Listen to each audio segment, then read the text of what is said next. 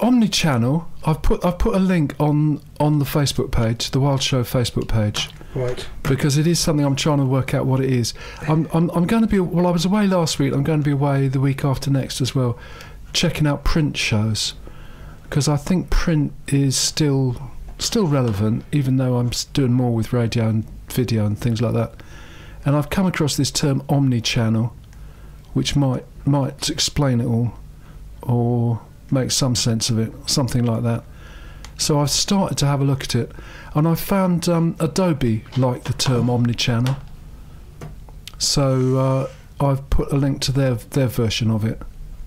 It just seems to be um, starting with starting with um, whoever's viewing all this media and content, and working out what's getting to them, which could be could be radio, could be a web page, could be a magazine.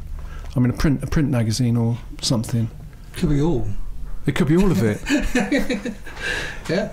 Yeah, it could be. It could be whatever it is. And um, so I think we, I think we should I think we should be looking at that, Mm-hmm. and uh, it might make sense for a radio show as much as anything else. So we we might just come back to that as it, as it goes along.